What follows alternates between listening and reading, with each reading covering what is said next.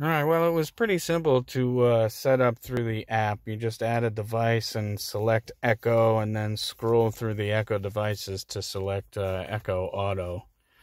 Uh, and then it's just a matter of uh, allowing it to connect via Bluetooth, putting your car stereo in Bluetooth, and now it should be doing its thing. Anyway, let's try some things here, see if it works. Maybe I have it uh, set up properly.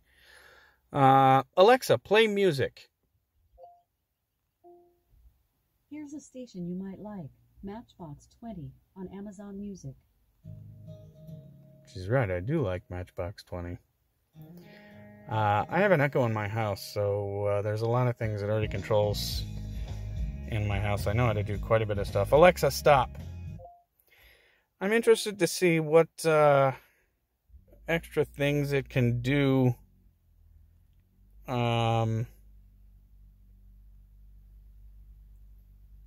Oh, that's neat. Extra things it can do besides just what's what it can do in my house. Oh well.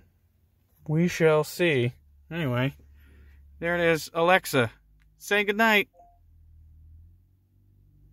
Good night. Sleep tight.